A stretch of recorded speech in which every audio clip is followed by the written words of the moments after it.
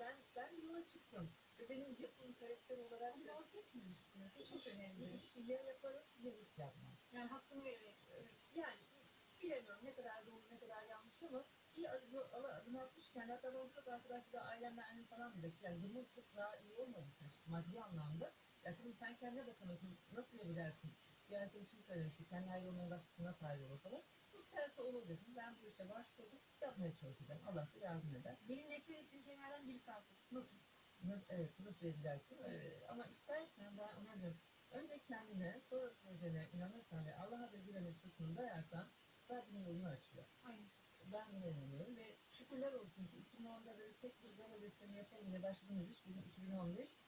Ee, insanlar bizi aramaya başladı. Hmm. Geldiğimiz nokta Geri 5 yılda, dönüşler 5 yılda geri dönüşler başladı. Bu da bizi en güzel sevindiren taraflar.